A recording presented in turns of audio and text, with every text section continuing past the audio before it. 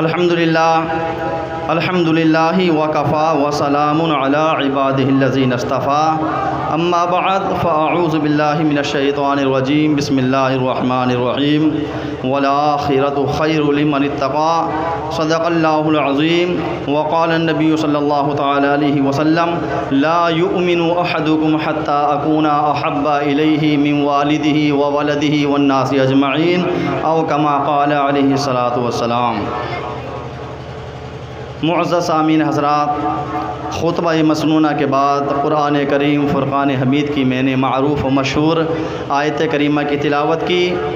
آقائد عالم صلی اللہ تعالیٰ علیہ وسلم کی احادیث میں سے ایک چھوٹی سی حدیث کی بھی تلاوت فرمائی۔ قرآن و حدیث کی روشنی میں کچھ بیان کرنے سے قبل بہتر ہی نہیں بلکہ مناسب سمجھتا ہوں کہ ہم اور آپ مل کر نبی اور آل نبی کی بارگاہ میں جھوم جھوم کر درود پاک کا ہدیہ پیش کریں۔ پڑھیے بآواز بلند درود پاک۔ اللہم صلی علی سیدنا محمد علی سیدنا و مولانا محمد مبارک وسلم۔ صلو علیہ صلاۃ والسلام علیکہ یا رسول اللہ۔ عزیزان محترم آج کی یہ محفل تعارف کی محتاج بھی نہیں ہے۔ سب جانتے ہیں یہ محفل میلاد کا جو انعقاد کیا ہے کہ ہمارے جو بہنوئی ہیں، ان کے والدین حج کے لیے جا رہے ہیں۔ اور ان شاء اللہ تعالیٰ پیارے آقا علیہ صلاۃ والسلام کے روزے کی زیارت بھی ہوگی اور خانہ کعبہ کا طواف بھی ہوگا۔ بہرحال وہ ایسی جگہ ہے اور وہ مکین اور مکان دیکھنے کے لائق ہے۔ اور اس کی نظیر، اس کی مثال پوری کائنات میں ملتی ہی نہیں ہے۔ شاعر اس کو اپنے انداز میں پیش کرتا ہے، سماعت فرمائیں۔ نہ ایسا گنبد نہ ایسا روزہ۔ نہ ایسا گنبد نہ ایسا روزہ۔ نہ شہر ایسا جناب ہوگا۔ نہ ایسا گنبد، نہ ایسا روزہ، نہ شہر ایسا جناب ہوگا، نہ ایسا گنبد، نہ ایسا روزہ، نہ شہر ایسا جناب ہوگا۔ اور جواب ہر ایک شہر کا جواب ہوگا ہر ایک شہر کا جواب ہوگا۔ ہر ایک شہر کا مدینہ تو لا جواب ہوگا نہ ایسا گنبد، نہ ایسا روزہ، نہ شہر ایسا جناب ہوگا نہ ایسا گنبد، نہ ایسا روزہ، نہ شہر ایسا جناب ہوگا۔ اور حضرات، اگلا شعر بھی میں آپ کی سماعتوں کے حوالے کر رہا ہوں۔ مچل کے کہہ دیجیے، سبحان اللہ۔ جو زلف بکھرے تو رات ہوگی۔ جو چہرہ نکلے تو دن چڑھے گا۔ یہ میرے نبی کی صفات ہیں کہ آپ کی زلف کے صدقے میں رات بھی بنی اور آپ کے چہرے کی روشنی کی وجہ سے دن بھی چڑھا۔ شاعر نے اپنے انداز میں قلم بند فرمایا ہے، سماعت فرمائیں۔ جو زلف بکھرے تو رات ہوگی، جو چہرہ نکلے تو دن چڑھے گا۔ کہ جو زلف رات ہوگی۔ جو چہرہ نکلے تو دن چڑھے گا اور پسینہ ان کا گرے گا جس پر پسینہ ان کا گرے گا جس پر وہی تو ذرہ گلاب ہوگا۔ نہ ایسا گنبد، نہ ایسا روزہ، نہ شہر ایسا جناب ہوگا، نہ ایسا گنبد، نہ ایسا روزہ، نہ شہر ایسا جناب ہوگا۔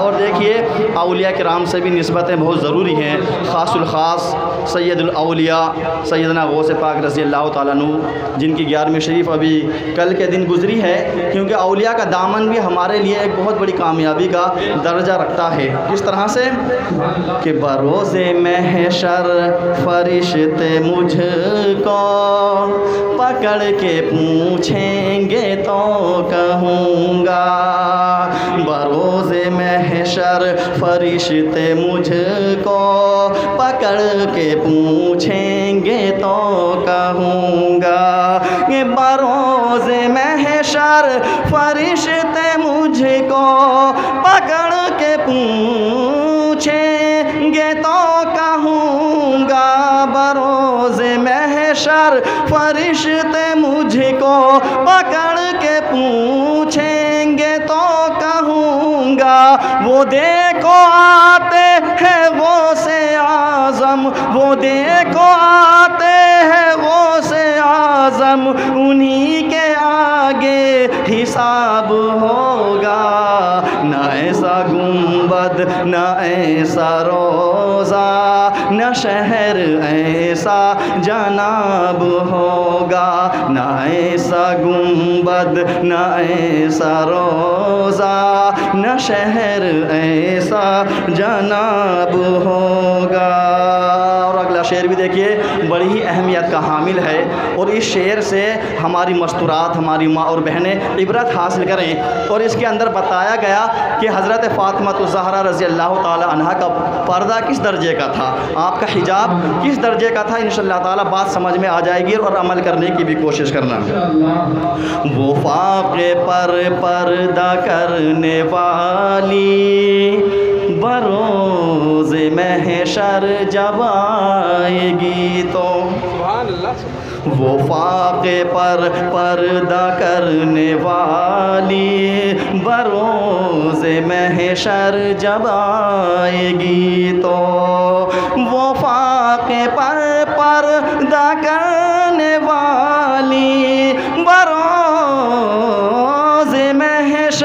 جب آئے گی تو ندائے ہوگی جھکاؤ نظریں، ندائے ہوگی جھکاؤ نظریں۔ یہ فاطمہ کا حجاب ہوگا۔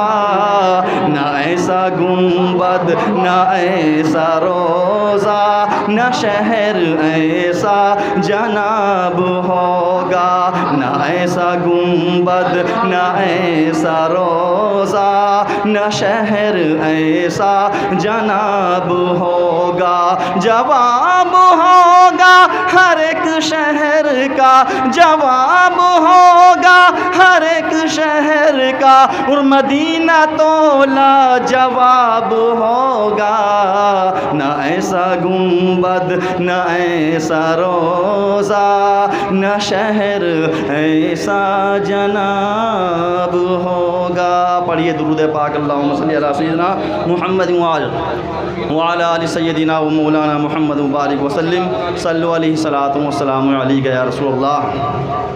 دیکھیے توجہ کے ساتھ میں میں کچھ ہی منٹ کی تقریر کروں گا اور انشاءاللہ تعالیٰ اس کے اندر ایسا پیغام دوں گا ہم اور آپ جو یہاں پر بیٹھے ہوئے ہیں نا، ہمارا یہ بیٹھنا بیکار نہیں جائے گا۔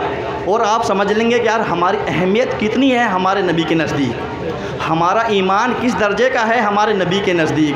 لہٰذا بات سمجھ میں آ جائے گی اور ان شاء اللہ تعالیٰ ہم اور آپ یہاں سب دیکھیے بہت سارے حجاج کرام دنیا کے کروڑ ہا کروڑ تعداد میں حجاج کرام سمٹ کے خانہ کعبہ میں آ جائیں گے کس وجہ سے وہ تو کعبے کی بھی ایک زیارت ہے اس کا بھی طواف ہے لیکن اصل میں میرے نبی کے روزے کی زیارت ہے امام الکلام کلام الامام اشاہ امام احمد رضا نے یوں ہی نہیں کہا کہ حاجیو آؤ شہنشاہ کا روزہ دیکھو، حاجیو آؤ شہنشاہ کا روزہ دیکھو، کعبہ تو دیکھ چکے، کعبے کا کعبہ دیکھو، کعبہ تو دیکھ چکے کعبے کا کعبہ دیکھو، کیونکہ کعبے کو بھی اگر مان لو کہ اہمیت ملی ہے تو وہ میرے نبی کی وجہ سے ملی ہے۔ کیوں؟ حضرت علی تو فرماتے تھے نا، پتھر کے سامنے، خانہ کعبہ میں وہ پتھر جسے حاجی کرام چومنے کے لیے اپنی جان کی بازی تک لگا دیتے ہیں۔ جو لوگ حج کر کے آ چکے ہیں، ان سے پوچھو۔ با مشکل جو ہے وہ، جو کالا حجر اسود ہے نا، جو ایک عمارت کے بیچ میں اسے چومنے کے لیے اپنی گردنیں اڑا دیتے ہیں۔ جانوں کی نذرانے پیش کر دیتے ہیں، بڑی مشکل کے ساتھ میں چومنے ملتا ہے۔ تو اس کے سامنے کھڑے ہو کے حضرت علی نے کیا فرمایا؟